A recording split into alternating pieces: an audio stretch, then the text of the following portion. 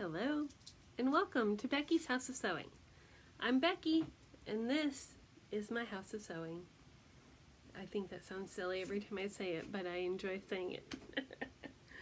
uh, it's also where we talk about all things thread and needle, mostly cross stitch and quilting, um, but you know, whatever else may come up along the way. Um, I have several things that I'm excited to share with you. One of them is right there. I got my bag done. Um, I showed this uh, yesterday, uh, yesterday, last time, um, and it didn't have the handles and it was super floppy. And now it's uh, full of stuff. I don't know if you can see. I've uh, been prepping for a quilt, that a quilt class I'm taking at the end of September, um, and I can't help but get started now. But I digress. Um, it is August 20th. I don't know how it got to be that date, but it is. Um, and it is almost 9 o'clock at night, so I apologize for the lighting, um, but I definitely wanted to get um, a, a, video done tonight before I got in my gym jams, um, or pajamas. Um, we got we got gym jams. I think that came from a um, the Doghouse uh, is, a British series where um, they uh, adopt dogs out. Essentially, they match up dogs with uh, families, and I think they call them uh, pajamas Jim jams. There, I think it's funny. Um, okay, so I have not one one finish, but two finishes.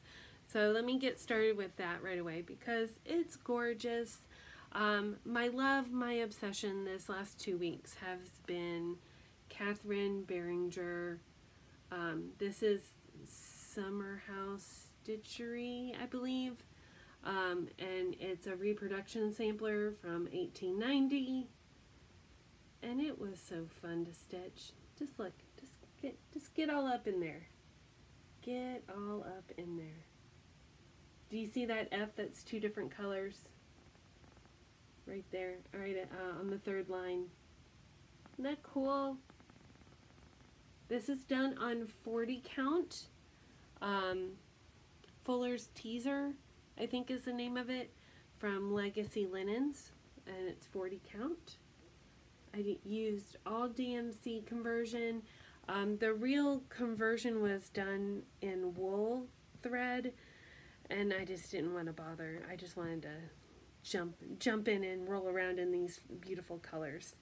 The other fun thing about this is that I saved all my all my leftover threads. Um, I, I don't know why. It just became a rat's nest and I was like, I'm going to keep that. See how big it gets. Uh, so that was all the leftover threads from doing the low letters. Isn't she pretty? I'm so excited. Um, I haven't uh, personalized this or signed it. I usually don't do a reproduction sampler verbatim. I usually change my, uh, to put my name in it or my date or something like that. Um, I just wasn't inspired to do so. I think what I'm gonna, how I'm gonna finish this, uh, fully finished. This is an FO, a finished object, not a fully finished object. Um, I, I think I'm going to make it a flat fold and then um, I will be able to put my name and, and information and label it um, on the finished product. I think that's what I'm going to, I think that's what I've settled on. So, the other big exciting news kind of partners up with some things that I've purchased. So um, let's talk about what I bought. um, well, really, the it's like where do I start? Uh, the the real thing was that I was watching Nicola Parkman a couple Sundays ago, and she was talking again about needles and the importance of having the right needle for the project and specifically talking about like 46 count or higher, uh, 46, 56, that kind of thing, um, where you really need to use more of a beading needle because not only are the holes so small, but you're usually using a thin silk thread and that needs a different kind of needle. So, and I had learned that um, in the past when I was trying to do Mrs. Campbell. And uh, it was still, I got beading needles, but they were sharp and they were long. Um, and Nicola was talking about short ballpoint ones, and these are from John James. You can see I got them, and they're life changing. I said it, life changing. So I have been addicted to Mrs. Campbell again. Look, I don't have a thread here, sorry. Just hide that to the back. I even got her back on um, my uh, roller frame. So that's to be fun. You can get in there and see her. So if you recall, um, let's see if I can do this behind my head so I can see. So I had just gotten to the E. Uh, so I did all the letters. I moved the red line a little further back. I did that whole section on the side there that's incomplete um, and met the bottom um, these borders here. I met those borders up as well. I've, I've made a couple counting mistakes, which is not hard to do on 46 count. Thank you very much. Um, but they're not horrible and they're not going to be super noticeable. I just wanted to kind of make sure that as I'm going, I'm meeting my borders. So where I need to fudge, I, I'm not going too far before I need to back something up or fake something out kind of deal.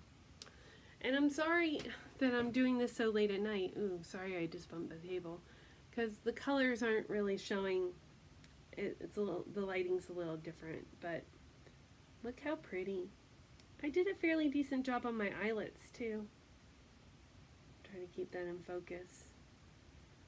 So all these large letters on the bottom are Algerian eyelets.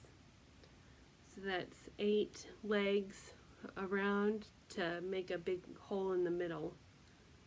See if I can get in there a little. You can really see it on the G's. So, um, I'm back in love. And I don't care who knows it. I'm excited. So, I was really finding that the sharp needles were actually poking me making it not enjoyable to stitch and worried that I might bleed on something. Um, but also the length of the needle really makes a difference. The eye of the needle is the same on both.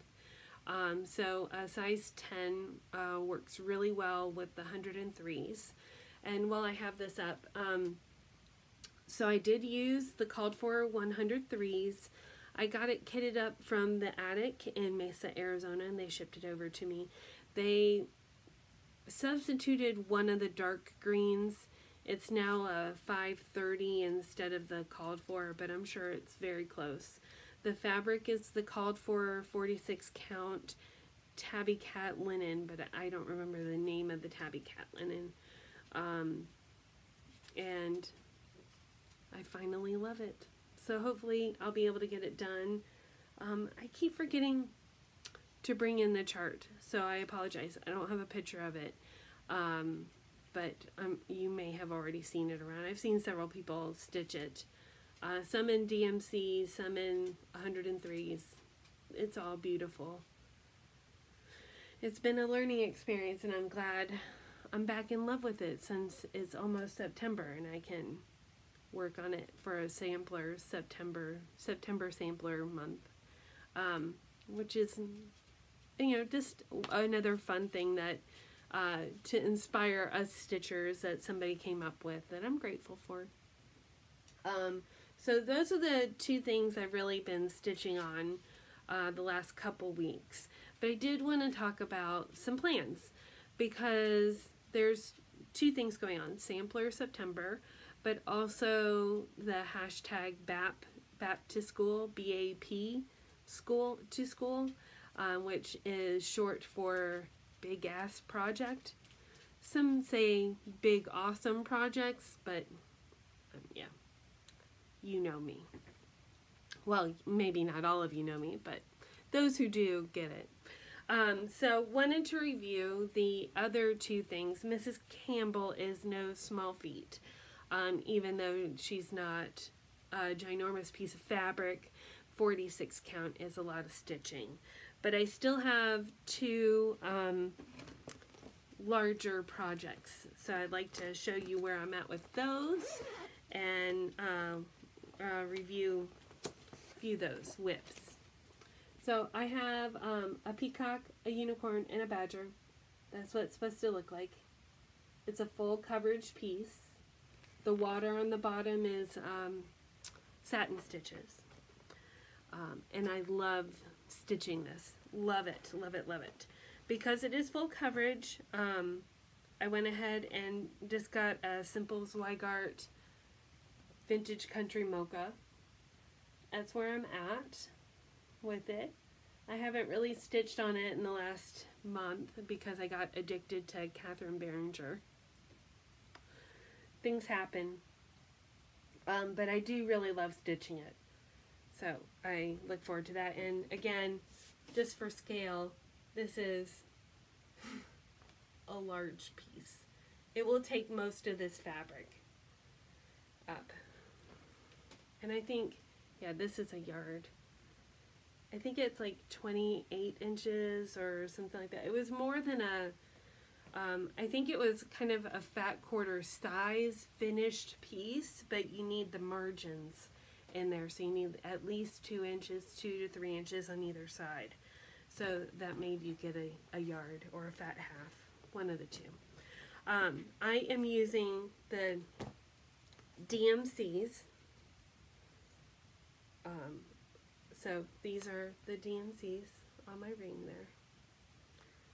And I look forward to stitching it again. I'm going to get this back in my bag here. Oh.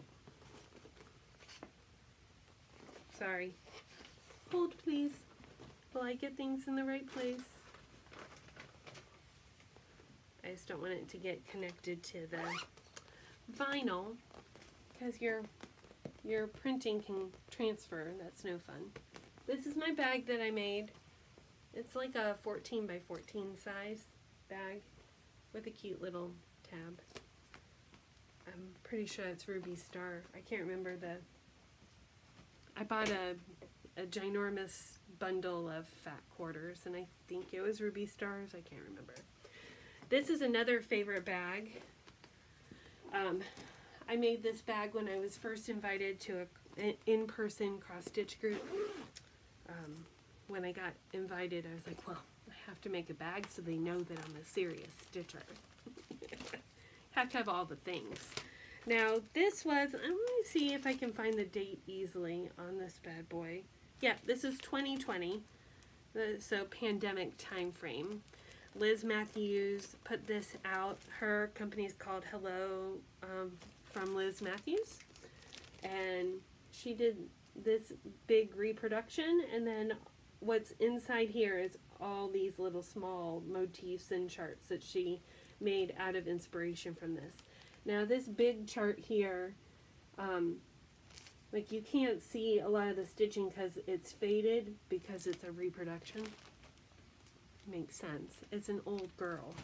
Um, but I wanted, if I was going to do all this stitching, I wanted it to, I wanted to see it. So, um, I was so excited about joining this group when I brought this to work on to get started as a, as a fun start and um, realized when I got home I had started totally in the wrong place. So I had to restart it. Um, and now I was in a stitching group and so you don't get much stitching done because you're talking and getting to know each other. Um, but this is where I'm at. Ooh.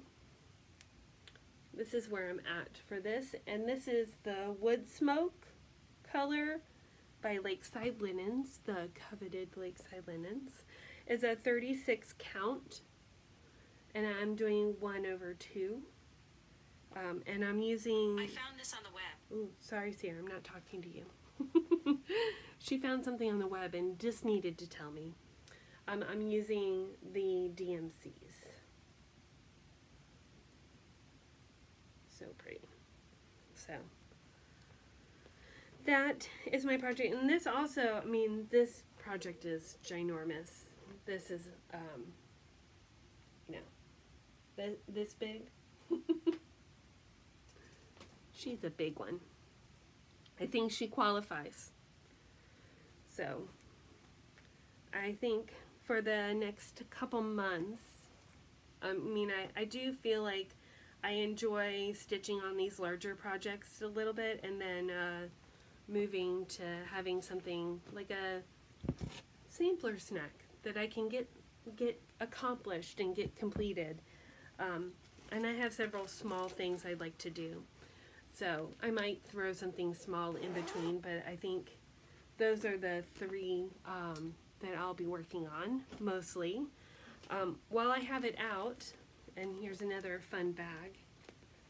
Uh, this is my Liberty by Riley Blake. It's the quilting cottons, but isn't that a pretty pattern?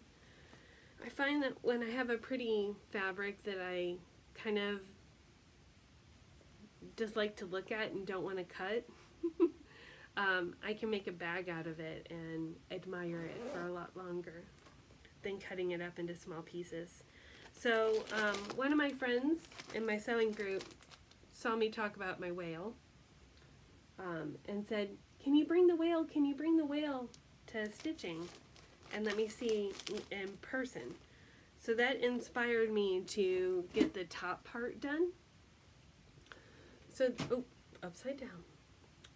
So this kit was um, created by Sean from the Rusty Crow. The Rusty Crow is a, um, a craft store in the Outer Banks of North Carolina. Uh, if you are a quilter, I recommend highly making a trip out to go visit because she sells fabric for $5 a yard, which is about $10 off normal pricing. Um, she also does a lot of uh, wool applique and different things like that. She sells a lot of her own um, patterns. She is a distributor. Sean is a distributor for Valdani in the US. So if you need the Valdani thread, which are these beautiful balls of thread, um, reach out to, um, they have a, a, really nice website as well uh, that's fun to shop on, but you know, because the Outer Banks is that's a little far. Uh, so, other things in my world is that I have been making some inventory of bags so that I could sell project bags because I really like making them. They're fairly easy. The, this one is an oddball size. Um, it's got a vinyl cover. I have another oddball size 12 by 12 square. And this is probably um, a 10 by 12 size. Yeah, 10 by 10 by 14 maybe. Um, and then I made four at the 12 by 14 sizes um, with the back being a different it, they're all in the same group they're all the same pat um, in the they're all out of this pattern group um, and then the insides on this guy is yellow on the four of them so I um, I am going to attempt to continue to make some and then start selling them on Etsy or some other way. I know a lot of people, a lot of floss tubers that make bags sell them on Instagram or Facebook. So I haven't quite figured all the ins and outs yet, um, but I'm working on it. So I, in that vein, I had bought some zipper tape and I bought a zipper jig to help me make zippers for it and I got some more vinyl and I got some uh, cool things for Cricut to make like tags and whatnot. Um, I did, I think I'm going to um, also offer some uh, floss drops on two inch rings um, for uh, little add-on things that also that I can make from my Cricut pretty easily and I like uh, the cardstock that I use and that kind of thing. So that's kind of what's going on between finishing my bag and uh, getting prepped for the halo quilt, which I think I had, hold on, where's the halo quilt? Oh, here it is. Ooh. I'm going to make one that, that one of my centers. It's not quilting cotton, but it'll be cute. Uh, this is the halo quilt. That This is the class I'm taking at the Quilt Patch in Stallings, North Carolina um, I believe the 23rd, 25th of September, sometime around there. And uh, so I'll get to learn this technique of scrappy quilts. And I've got lots of fun things. Um, in making this bag, I originally bought this color, um, but it was too spot on. I didn't like it.